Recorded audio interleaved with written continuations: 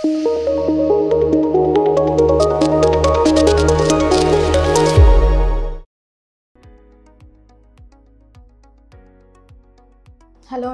నా పేరు Venila consultant ferty nine fertility centre Vijayawada.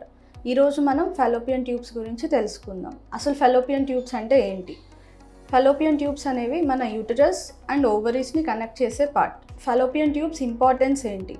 జనరల్గా ఎగ్ రిలీజ్ అయిన తర్వాత ఫెలోపియన్ ట్యూబ్లోకి వస్తుంది. అదే టైంలో హస్బెండ్ అండ్ వైఫ్ కలిసిన తర్వాత స్పర్మ్స్ అనేవి కూడా యూటరస్ నుండి ఫెలోపియన్ ట్యూబ్స్కి రీచ్ అవుతాయి. రీచ్ అయిన తర్వాత ఆ రెండు ఫ్యూస్ అవుతాయి. ఫ్యూస్ అయిన తర్వాత మనకి ఎంబ్రియో ఫామ్ అవుతుంది. ఫామ్ అయిన ఎంబ్రియో ఫెలోపియన్ ట్యూబ్ ద్వారా గర్భసంచిలోకి వచ్చి అతుక్కుంటుంది. ఇలా అతుక్కుంటే మనం ఇంప్లాంటేషన్ అంటాం. ఇంప్లాంటేషన్ అయింది అంటే మనకు ప్రెగ్నెన్సీ వస్తుంది.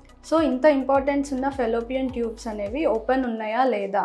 ఓపెన్ ఉంటేనే మనకు ప్రెగ్నెన్సీ వస్తుందండి. ట్యూబ్స్ ఓపెన్ ఉన్నాయా లేదా అని టెస్ట్ చేయడానికి ఏమన్నా ఉన్నాయా ఇన్వెస్టిగేషన్స్ అనేది తెలుసుకుందాం. ట్యూబ్స్ ఓపెన్ ఉన్నాయా లేదా అని తెలుసుకోవడానికి జనరల్గా మనకి టూ టెస్ట్లు ఉంటాయండి. ఎస్ఐఎస్ అంటాం. ఇంకొకటి అనేది హెచ్ఎస్జి జనరల్గా ఎస్ఐఎస్ అనేది పీరియడ్ వచ్చిన నైన్త్ డే చేస్తాము. ఆ రోజు పేషెంట్ వచ్చిన తర్వాత స్కాన్ చేసి కింద నుండి జనరల్గా మనం సెలైన్ పంపిస్తాము. సెలైన్ పంపించి ట్యూబ్స్ ఓపెన్ ఉన్నాయా లేదా అనేది తెలుసుకుంటాం. ఇంకొకటి హెచ్ఎస్సి హెచ్ఎస్సి కూడా అరౌండ్ నైన్త్ డేనే చేస్తాము. హెచ్ఎస్సిలో ఒక డై ఇంజెక్ట్ చేస్తాము కింద గర్భసంచి నుండి. కాకపోతే ఇందులో మనం ఎక్స్రే చూస్ ఎక్స్రే చేసి చూస్తాం ట్యూబ్స్ ఓపెన్ ఉన్నాయా లేదా అనేది. ఈ ట్యూబ్ టెస్ట్ అనేది జనరల్గా ఎవరెవరిలో చూస్తాము.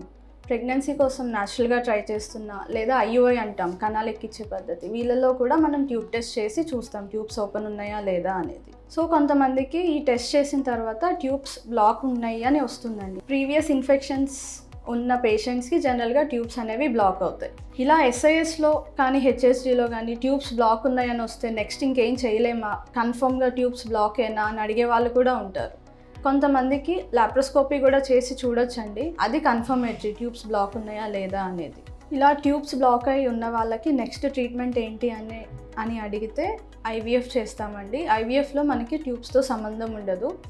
సో ఐవీఎఫ్ చేస్తే ప్రెగ్నెన్సీ వచ్చే ఛాన్సెస్ ఉంటాయి ట్యూబ్స్ బ్లాక్ అయిన వాళ్ళకు కూడా థ్యాంక్ యూ